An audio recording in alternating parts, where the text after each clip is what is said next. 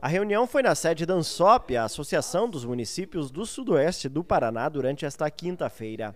Mensalmente, todos os secretários de Meio Ambiente e Agricultura se reúnem para tratar de assuntos ligados ao meio ambiente no Sudoeste.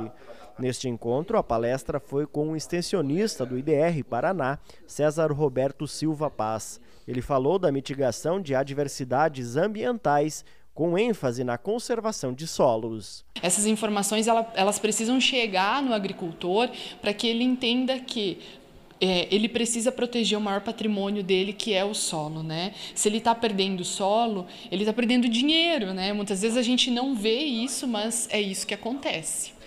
E essa discussão sobre solos já havia entrado em pauta na reunião da SEMA no final do ano passado. Na oportunidade, os secretários resolveram aplicar questionários em secretarias municipais de todos os municípios do Sudoeste para fazer um levantamento da situação atual dos solos nos municípios.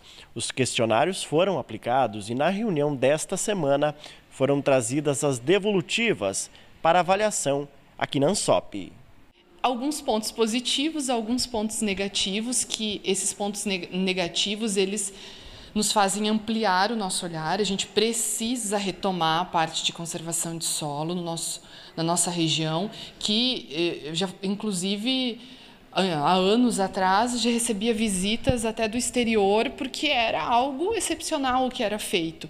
Então a gente precisa retomar isso, seja com cobertura vegetal, seja com a base larga, né, curva de nível que a gente faz.